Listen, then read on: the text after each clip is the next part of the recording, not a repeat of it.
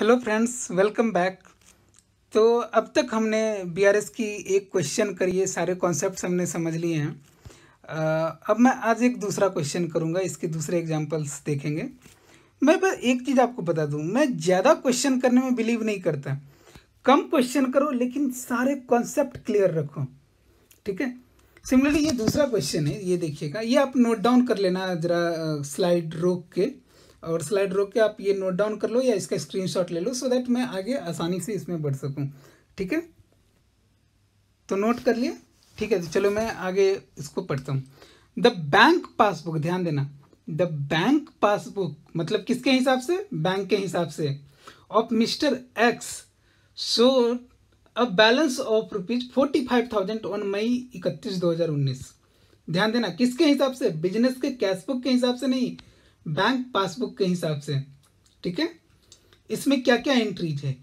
Cheque issued before thirty first May two thousand nineteen amounting to rupees पच्चीस नौ सौ चालीस has not been presented for encashment cheque issued by whom by business okay not presented for encashment to cheque of rupees तीन हज़ार नौ सौ and दो हज़ार तीन सौ पचास were deposited deposited by whom business into the bank on 31st May, but the bank gave credit for the same in June 2019. ठीक है? There was also a debit in passbook of rupees पच्चीस सौ in respect of cheque dishonoured on इकतीस पाँच दो हज़ार उन्नीस. ठीक है? और prepare a bank reconciliation statement as of thirty first May two thousand nineteen तो अब इसका हम सॉल्यूशन करते हैं। ठीक है? आ जाओ। सबसे पहले तो बैंक ने बोला कि, इसमें भी देखो, इसमें क्या बोला कि ये जो आपकी सेकंड नंबर की प्रॉब्लम है, किधर गई किधर गई, ये रो ये बैंक पासबुक ने बोला बैंक पासबुक बैलेंस इतना तो अगर कुछ ना लिखा है तो हम मानेंगे ये फेवरेबल बैलेंस है, ठीक है? ठीक है ना? तो हम चलते हैं, मान के चलिए ये फेवरेबल बैलेंस तो बैलेंस एज पर passbook is forty five thousand rupees अब क्या बोल रहे हैं? चेक इशूड ठीक है? बिफोर थर्टी फ़र्स्ट में two thousand nineteen amounting to पच्चीस हज़ार नौ सौ चालीस, और वो प्रेजेंट नहीं हुआ है इनकैशमेंट के लिए। तो आप ऐसी सिंपल सी चीज़ मानो, यहाँ पे कैश बुक और ये बैंक वाले। ठीक है? तो अगर मान लीजिए एक एक लाख रुपए बैलेंस है, ठीक है, दोनों में फेवरेबल है तो डेबिट ही मानो। ठीक है? डेबिट एक एक लाख रुपए बैलेंस है। अब चेक इशू किया। चेक इशू किया मतलब पेमेंट किया। कितने का? पच्चीस हज़ार नौ सौ चालीस का। तो मान लो पच्चीस हज़ार मानते हैं। पच्चीस हज़ार नौ सौ चालीस का अगर ये किया है तो कैश बुक में आपने क्या एंट्री करी होगी? अपना बैंक घटा लिया होगा पच्चीस हज़ार नौ सौ चालीस से तो यहाँ पे कितनी होगी? चौहत्तर हज़ार साठ रुपये आपका दिख रहा होगा, लेकिन यहाँ पे अभी भी एक लाख रुपए दिख रहे होंगे। तब चौहत्तर हज़ार साठ रुपये को एक लाख रुपए बनाने हैं, क्या करना पड़ेगा? क्या करना पड़ेगा? इसमें ऐड करना पड़ेगा। लेकिन लेकिन लेकिन लेकिन, यहाँ पे आपका टारगेट कौन है? हमें बैंक की तरफ़ से चलना है और कैशबुक की तरह बनना है। अब रोहन को आपकी तरह बनना है। तब रोहन को आपकी तरह बनना है तो ये एक लाख है, यहाँ पे चौहत्तर ज़ीरो साठ है। तो यहाँ एक लाख को चौहत्तर ज़ीरो साठ करने के लिए क्या होगा? ये माइनस करना होगा पच्चीस हज़ार नौ सौ चालीस। इसलिए cheque issued but not presented for payment पच्चीस हज़ार नौ सौ चालीस माइनस हो गई। सिंपल सी चीज़ समझ में आ रही है?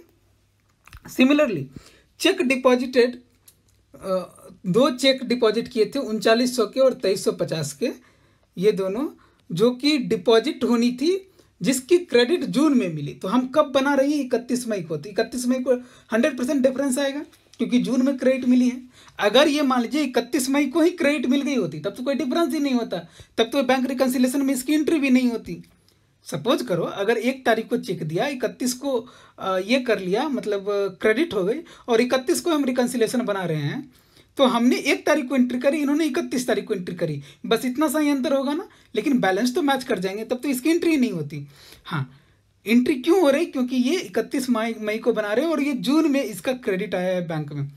क्या है देखो छः हज़ार दो सौ पचास। मान के चलो एक लाख रुपए इधर कैश है, इधर बैंक है। ठीक है? एक एक लाख रुपए। अगर चेक डिपॉजिट आपने क्या किया? आपने इतना अमाउंट बढ़ा दिया, क्योंकि चेक डिपॉजिट आपके कस्टमर के हैं तो आपने क्या किया? अब आपका बैलेंस हो गया एक लाख छः हज़ार दो सौ पचास, लेकिन इधर अभी भी एक लाख है। अब रोहन को आप अपने जैसा बनाओ।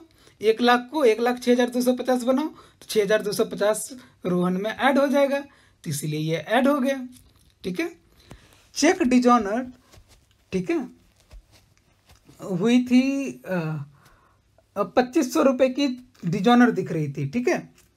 तो पच्चीस सौ रुपये की डिजॉनर दिख रही थी। हम ये मान के चल रहे हैं, यहाँ जो क्वेश्चन बोल रहे हैं, देखो, कुछ ना कुछ तो आपको मानना पड़ेगा ना। यहाँ बोला कि cheque there was also a debit in the passbook of पच्चीस सौ in respect of cheque dishonour. मान लो अगर ये बोला है, इसका मतलब यही हुआ ना कि कैशबुक में एंट्री नहीं हुई थी, इसीलिए हमारे पास दिया है। अगर कैशबुक में एंट्री हो ही जाती तो इसका कोई इफ़ेक्ट ही नहीं पड़ता, है ना? तो cheque dishonoured recorded only in passbook मैं इस तरह से इसको क्लैरिफाई कर देता हूँ। तो अगर चेक डिजॉनर हुई, मान लो एक एक लाख का ये था, ठीक है? कैश में और बैंक में एक एक लाख की बैलेंस थी। चेक डिजॉनर हुई। चेक डिजॉनर हुई तो क्या होगी? कोई चेक आपने जमा करे होंगे, वो डिजॉनर होगी ना जनरली उल्टा भी हो सकता है, लेकिन जनरली चेक डिजॉनर का मतलब क्या होता है? मतलब आपने चेक दिया, वो भी डिजॉनर हो सकती है, लेकिन वो सामने वाले के बैंक में होगी ना। आपके बैंक में क्यों होगी? और आपके बैंक में सिर्फ़ चार्जेज लगेंगे। आप कभी बैंकिंग ट्रांजेक्शन देखोगे तो अगर मान लो आपने कोई चेक इशू करा है और वो डिजॉनर हो गया है तो आपके बैंक में डिजॉनर के चार्जेस लगेंगे सिर्फ़। उनके बैंक में डेबिट और क्रेडिट की एंट्री होगी। आप समझ रहे हो? अच्छा देखो चेक डिजॉनर क्यों? तो मतलब यहाँ पे जनरली जब हम चेक डिजॉनर बोल रहे हैं तो मतलब क्या हुआ? किसी ने मुझे चेक दिया, हमने उसको जमा किया होगा। जमा किया होगा तो हमने क्या किया होगा? एंट्री करी होगी। ठीक है? एक लाख रुपए, एक लाख रुपए, ठीक है? जब भी चेक जब भी बैंक में जाती है ना तो आप देखोगे उसकी डुअल एंट्री आती है। डुअल एंट्री क्या आती है? जैसे पहले क्रेडिट देती है, अगर डिजॉनर हो गए ना तो उसी को डेबिट कर लेती है। ठीक है? तो ये जो उन्होंने डेबिट करा है, देखो क्रेडिट तो उन्होंने भी दी, अपने भी क्रेडिट करा था। मतलब ऐड अपने भी करा था ऐड उन्होंने भी करा था। तो यहाँ तक तो कोई दिक्कत नहीं था। लेकिन ये डिजॉनर हो गया तो उन्होंने फिर डेबिट करा ये पच्चीस सौ रुपये एक सिंपल सी चीज़ है, अगर एक लाख रुपये बैलेंस है, एक लाख रुपये बैलेंस है, आज डिजॉनर हो गया तो आपकी यहाँ पे दिख रही होगी पचहत्तर हज़ार रुपये ओनली और इधर दिख रहा होगा एक लाख रुपये तो पचहत्तर हज़ार को एक लाख बनाने के लिए क्या करना होगा? पच्चीस हज़ार ऐड करना होगा, है ना? सॉरी ये पच्चीस सौ की एंट्री है, वैसे ही समझ लेना।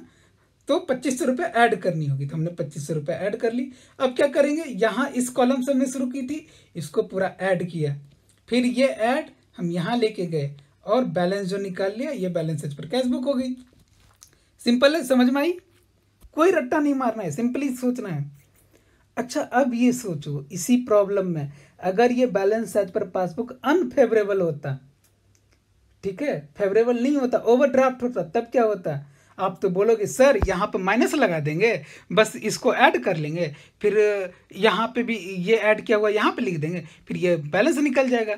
या नहीं तो सर, फिर क्या करेंगे? इसको यहाँ पे लिख देंगे इस कॉलम में, और इस कॉलम को ऐड कर लेंगे, सर।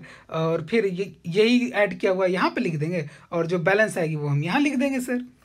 वही तो हो गई, सर ओवरड्राफ्ट में। बहुत अच्छी बात है। मैथमेटिकली आपको एग्ज़ाम में अगर ये सॉल्व करना हो, बहुत अच्छी बात है। ऐसे आप सॉल्व कर सकते हो। अगर ये पैंतालीस हज़ार डेबिट बैलेंस होता है, यहाँ मैंने क्या लिखा है? डेबिट सोच है इतना डेबिट डेबिट मतलब क्या हुआ? अगर बैंक में डेबिट है बैंक के हिसाब से अगर बैंक बैंक के हिसाब से अगर बैंक में डेबिट है तो वो उसके लिए एसेट होगी एसेट होगी तो ये अनफेवरेबल बैलेंस हुई बिज़नेस के हिसाब से। तो इसमें माइनस फोर्टी फाइव थाउज़ेंड मैंने कर दिया। देखो, इसको ऐड करा। इसको ऐड करा, ये निकल गई। ये तो मैथमेटिकल कैलकुलेशन है, देखो, कुछ नहीं करना है मैथमेटिक्स से। सिमिलरली फिर उसको बेटर प्रेजेंटेशन के लिए अगर इसको इधर कर दो, इसको पहले ऐड कर लो, फिर जो बैलेंस बचेगा, यहाँ लिख दो। ये तो सही है, लेकिन कॉन्सेप्ट कहाँ है सर तो सर मुझे कॉन्सेप्ट तो समझाओ क्या है? अच्छी, एक चीज़ बताओ, अगर ओवरड्राफ्ट लिमिट है, पैंतालीस हज़ार का, और हम बैंक के हिसाब से चल, देख, सोचते हैं। चेक इशू किया और प्रेजेंट नहीं हुआ। अगर मान लो चेक इशू हुई होती, मान लो एक एक लाख की ओवरड्राफ्ट लिमिट है, और बिज़नेस ने और चेक काट दी पच्चीस हज़ार नौ सौ चालीस की तो आपके पास अब टोटल ओवरड्राफ्ट कितनी हो जाती बैंक मतलब इसके हिसाब से कैश बुक के हिसाब से? एक लाख पच्चीस हज़ार नौ सौ चालीस रुपया। लेकिन बैंक में तो आई ही नहीं। बैंक में आई नहीं तो यहाँ भी ओवरड्राफ्ट देती एक लाख रुपए। तो अब जरा रोहन को अपने जैसा बनाओ। जब एक लाख रुपए को एक लाख पच्चीस हज़ार नौ सौ चालीस करने के लिए क्या होगा? पच्चीस हज़ार नौ सौ चालीस ऐड करनी होगी। देखो ये ऐड हो रही है। ठीक है?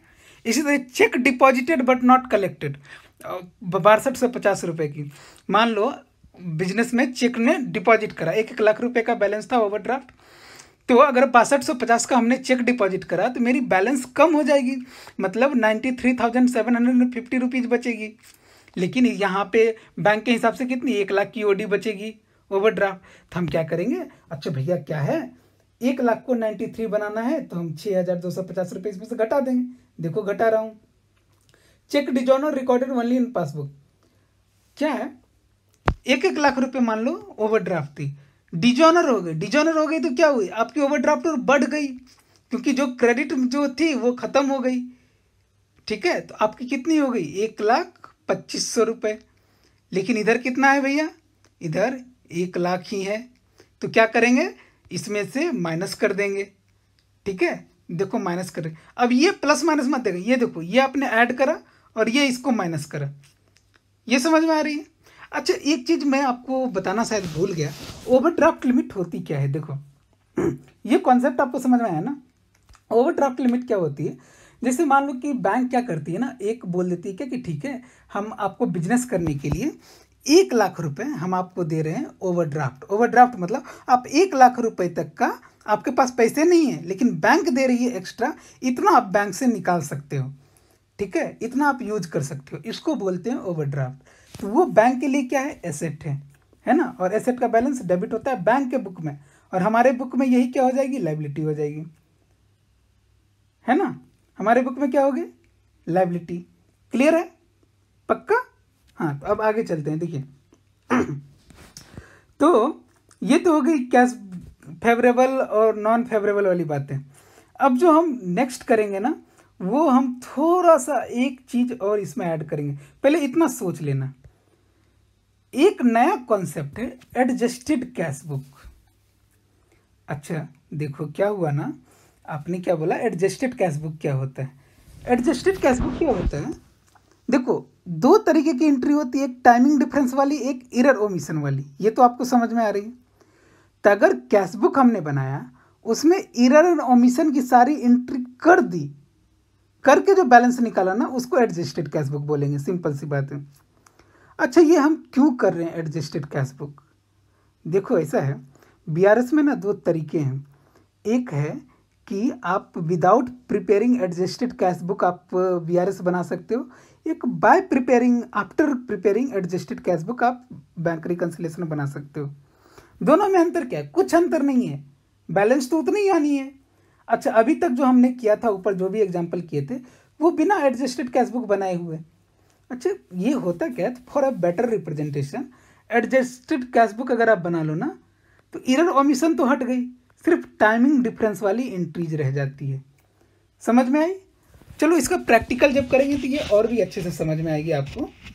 ठीक है, मैंने बोला था आपको कि एग्ज़ाम्पल वन आपको नोट करने के लिए, वो नोट करके ही रखना, क्योंकि इसमें भी उसका हम यूज़ करेंगे। ठीक है? तो आप समझो, देखो। आओ, यहाँ। एग्ज़ाम्पल वन में क्या था आपका?